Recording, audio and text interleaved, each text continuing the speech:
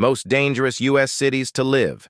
If you live in these cities, move out right now. Number 1 will shock you. Number 10. Indianapolis, Indiana. Perhaps best known as the home of the Indy 500 motor race in the USA, Indianapolis also has many museums and impressive green spaces. It currently suffers from a high rate of violent crime, with 1333.96 violent crimes per 100,000 people being recorded. Number 9. Albuquerque, New Mexico. Albuquerque is the most populous city in the state of New Mexico. The violent crime rate of 1369.14 felonies per 100,000 people means that Albuquerque makes it to number 9 on our list. The numbers continued to increase between 2019 and 2023, with the homicide rate rising nearly 19%. Number 8. Stockton, California.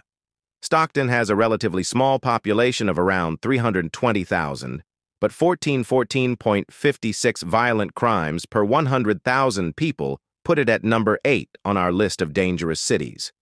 The city went bankrupt in 2012, mainly due to the 2008 world financial crisis, which saw a massive drop in property value and high unemployment rates. This, in turn, has led to rising crime rates in the area. Number 7. Cleveland, Ohio. Cleveland sits on the shore of Lake Erie in northeastern Ohio. It is a major port on the St. Lawrence Seaway, relying on heavy industry and trade for economic prosperity. But violent crime is 1556.76 per 100,000 people, putting it above the national average in the USA.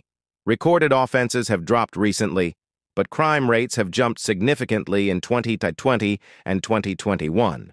Number 6.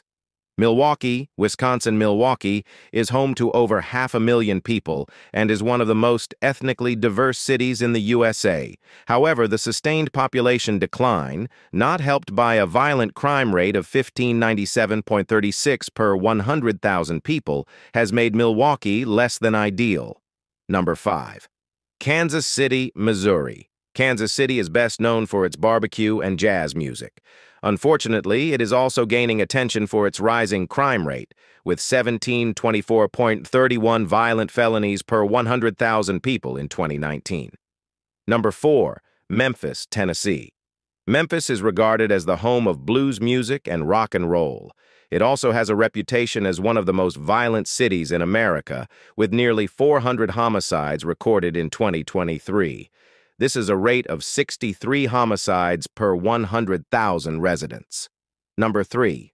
Baltimore, Maryland. Baltimore is an important port city in Maryland and the state's economic center. However, with 2027.01 violent crimes per 100,000 people recorded in one year, the reality of life in this city is not a million miles away from the television version for some. Number 2. Detroit, Michigan. As a result of mass redundancies and increasing poverty, violent crime reached a rate of 2,056.67 violent felonies per 100,000 people by 2019 in Detroit. Number 1. The winner is St. Louis, Missouri. The most dangerous city in the USA is St. Louis, with 2,082.29 violent crimes per 100,000 people recorded in 2019. High levels of poverty and racial segregation are thought to be contributing factors. Homicide rates remain elevated, with 194 instances recorded in 2019 alone. Things were even worse in 2020, with the rate hitting a 50-year high. Do you live in any of these cities? What do you think about this report?